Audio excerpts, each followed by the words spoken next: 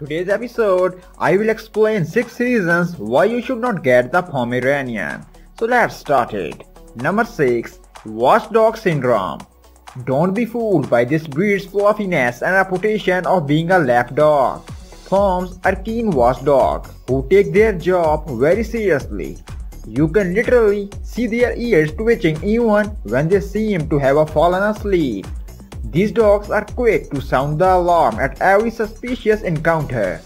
This can make them somewhat trouble for those living in condos and close-knit neighborhoods. We cannot blame them though. If we look at their past history, these fluffy dogs have Spitz heritage in their blood. Number 5. You cannot leave your Pomeranian alone outside at any time. The size of the Pomeranian gives you an advantage from indoor perspective but it is a disadvantage from an outdoor one.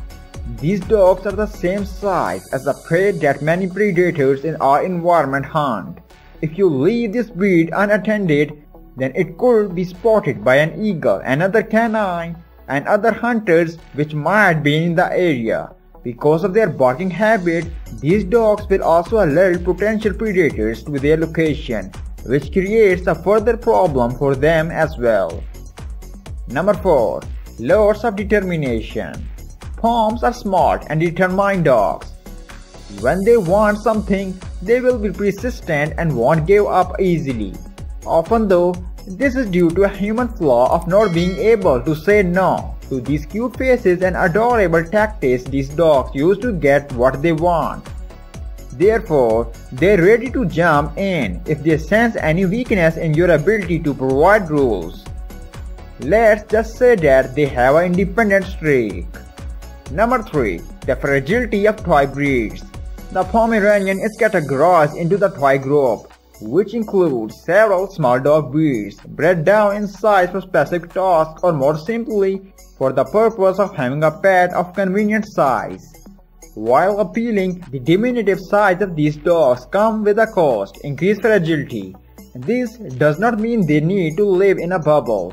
It just means that you need to be extra careful around them. For instance, you can seriously injure a Pomeranian puppy if you happen to accidentally sit on him, fall on him, or drop him when in your arms.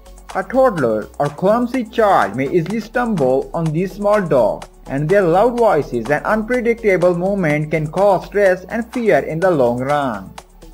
Number 2. Pomeranian not your average small dog. Many people imagine Poms as the average small dog who loves to be carried in the purse and who will warm laps for hours on end. Well, not so fast. They are different from the average small dogs, considering that they descend from sled dogs and have Spitz heritage, just like Huskies and Akitas. Poms, therefore, are not fragile dogs.